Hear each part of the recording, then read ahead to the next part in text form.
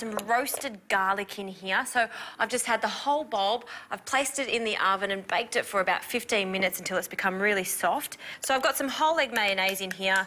We want to add that and give that a really good mix and mush up all of that soft roasted garlic in there and that's ready to go. I've also got some caramelised onion jam here, some rocket, and just for the tomatoes, I'm going to make two open steak sandwiches today, so I'll just get a serrated knife. We only need about half of this tomato. Just cut them quite thin, not too thick. I've got some beautiful sourdough here and just before I started to grill my steak on the griddle pan I've just toasted my bread so we've got those beautiful charred marks there. That also gives it a delicious flavour. So on they go.